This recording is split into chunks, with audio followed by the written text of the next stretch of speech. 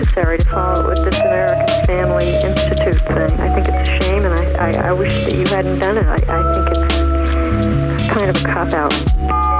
I am thankful that you chose the opposing side to this issue, and I don't believe that it's appropriate for the public schools to encourage and teach homosexuality. I would like to say thank you for um, showing the shows, both of the shows on television. I think it's important and a big step that we're able to at least portray um, held around homosexuality and the gay, um, gay and lesbian um, community. We appreciate your feedback. And now for something completely different.